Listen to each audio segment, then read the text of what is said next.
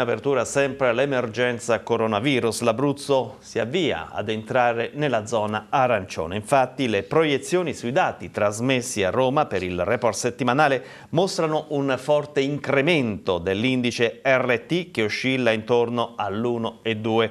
L'aumento dei contagi determinato soprattutto dalla forte incidenza della variante inglese in alcune zone della regione. Con questi dati la cabina di regia che si riunirà domani potrebbe infatti classificare l'Abruzzo in zona arancione. Strutture sanitarie intanto sotto pressione grande lavoro per i volontari del soccorso, come ci riferisce la nostra Gigliola Edmondo. Buon pomeriggio Gigliola! Sì Fabio, buon pomeriggio a te e a tutti coloro che ci stanno seguendo. Ci troviamo a Pescara con Diego Martelli e siamo in compagnia del presidente regionale della Croce Rossa italiana Gabriele Perfetti. Le proiezioni sui dati trasmessi a Roma per il report settimanale della regione Abruzzo mostrano un forte incremento dell'indice RT che oscilla intorno a 1,20 e comunque con un valore minimo intorno o superiore a 1,10. Con questi dati ricordo che la cabina di regia che si riunirà domani mattina non potrà che classificare l'Abruzzo in zona arancione, eh, come ha reso noto il governatore Marco Marsiglio.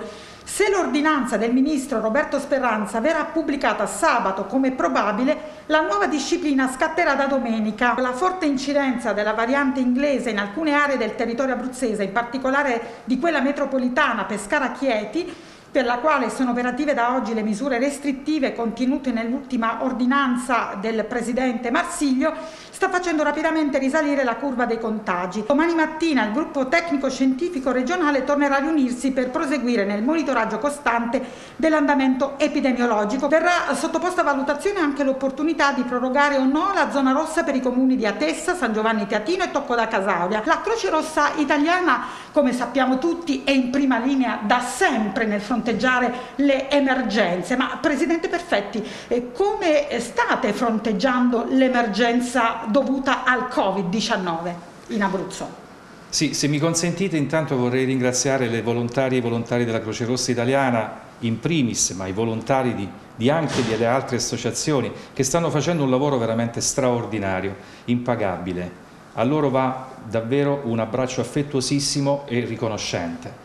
Siamo dal primo istante impegnati in questa emergenza. Eh, contiamo ormai centinaia di volontari per tutti i giorni dell'anno impiegati costantemente in diverse attività, in diversi presidi.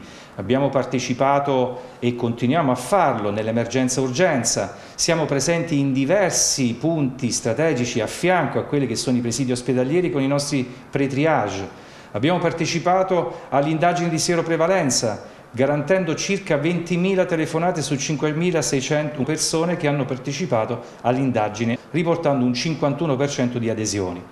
Siamo ovunque, per chiunque, quello che è poi il nostro motto. In questi giorni siamo con un presidio fisso a forme, garantiamo un'assistenza e soprattutto i tamponi a tutto il personale impiegato nelle ricerche. Continuiamo a garantire quello che è la convenzione con la Regione Abruzzo per lo stoccaggio e la distribuzione dei dispositivi di protezione individuale, oltre a quella che è tutta la strumentazione che è arrivata in Regione ed è stata distribuita ai diversi ospedali per rilevare e per curare i pazienti affetti da Covid. Aumentano i ricoveri negli ospedali abruzzesi, in particolare dicevamo l'emergenza nell'area metropolitana, nei Covid hospital di Pescara e Chieti, ma parliamo anche di assistenza domiciliare che è importante, vi vede impegnati costantemente dall'inizio dell'emergenza e eh, non soltanto con compiti eh, medici, sanitari, ma anche sociali. Quali sono le richieste che arrivano dal territorio?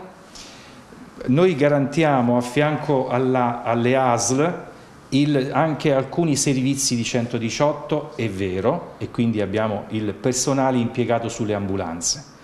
Dall'inizio abbiamo una forte richiesta di quelle persone che sono state costrette a rimanere a casa, specie le più fragili, e quindi abbiamo inteso intervenire con il tempo della gentilezza un progetto che è mirato essenzialmente alla cura e all'assistenza delle persone a casa, le persone mh, che hanno anche difficoltà economiche. A loro il nostro eh, aiuto attraverso la fornitura di farmaci, attraverso la fornitura di beni di prima necessità, alimenti, vestiario, calzature, ma poi ci occupiamo anche del trasporto o dello spostamento di quelle persone che non possono più contare sull'aiuto dei familiari. Noi siamo lì, a fianco alle istituzioni, ma soprattutto a fianco alla nostra gente, alle nostre comunità. Fabio, se non hai domande, io eh, ringrazio il Presidente Gabriele Perfetti, ringrazio Diego Martelli e ti restituirei la linea.